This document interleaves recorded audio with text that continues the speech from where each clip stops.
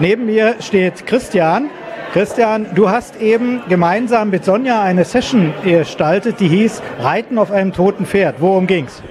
Es geht um das Thema Regionalzeitungen. Das heißt, dass wir im Moment in der Branche nicht ganz genau wissen, äh, wie es sich in Zukunft mit den Regionalzeitungen verhält. Wir beide sind äh, bei einer Regionalzeitung beschäftigt und haben genau diese Aufgabe, Zukunft äh, in irgendeiner Form zu bewältigen. Und äh, es geht um Online, äh, habe ich in der Session erfahren und ihr seid schon ganz schön weit. Welche Erfahrungen habt ihr bisher so gemacht mit Online-Ausgabe von Regionalzeitungen?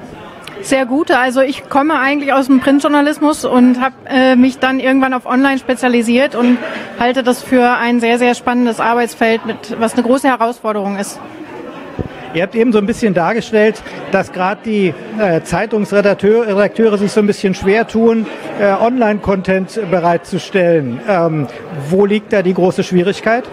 Ich glaube, es ist eine Frage der Herausforderung. Äh, wenn ich 20, 30, zuweilen 40 Jahre äh, eigentlich nichts anderes getan habe, als ein bestimmtes Zeitungsformat zu füllen, dann bin ich vielleicht von diesem Format irgendwann auch geprägt. Äh, es liegt ein bisschen äh, darin, Neugier zu wecken, vielleicht mal ein anderes Format füllen zu wollen. Und da haben Sonja und ich insofern den ganz großen Vorteil, dass wir in diesem Internet unglaublich viel Platz haben. Oh ja. Ja, und äh, ihr seid im Moment aber auf der Suche nach äh, Modellen, wie das weitergehen könnte. Und ich fand sehr erfrischend eben, dass ihr gesagt habt, wir sind da gut unterwegs, aber wo das hinführen wird, wissen wir noch nicht so richtig. Was ist so die wahrscheinlichste Form so in zwei Jahren? Wie viel Online-Beiträge und wie viel Printbeiträge wird es geben? So als Verhältnis, was schätzt ihr? Schwierige Frage. Also ich glaube, die Zeitung wird es auf jeden Fall weiterhin geben und sollte es auch weiterhin geben. Ähm, sie wird aber durch Online ergänzt werden, beziehungsweise vielleicht ergänzt auch irgendwann Print online, also andersrum. Ähm, ja, ein Verhältnis anzugeben würde mir da jetzt schwerfallen. Was seht ihr als den großen Vorteil von Online? Du sagtest eben, das Internet ist riesig groß, man kann da alles Mögliche noch unterbringen. Was ist Online so viel besser als Print? Wir haben natürlich die Möglichkeit, Geschichten anders zu erzählen. Und das hängt schon da, daran, dass wir in, innerhalb einer Geschichte äh, Video einbetten können, dass wir Audio einbetten können. Und gleichzeitig, und das ist ein ganz, ganz großer Faktor, den die Zeitung in dieser Form nie bieten kann, ist, dass wir gleichzeitig auch einen Dialog bieten können.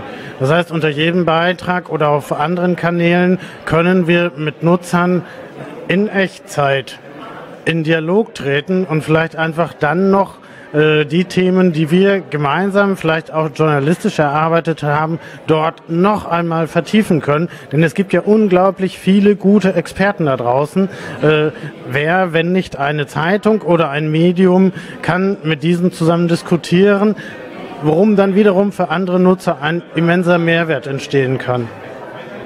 Das bringt mich gerade auf die Idee, in Unternehmen reden wir von Wissensmanagement, also sichtbar machen, wo welche Experten sind.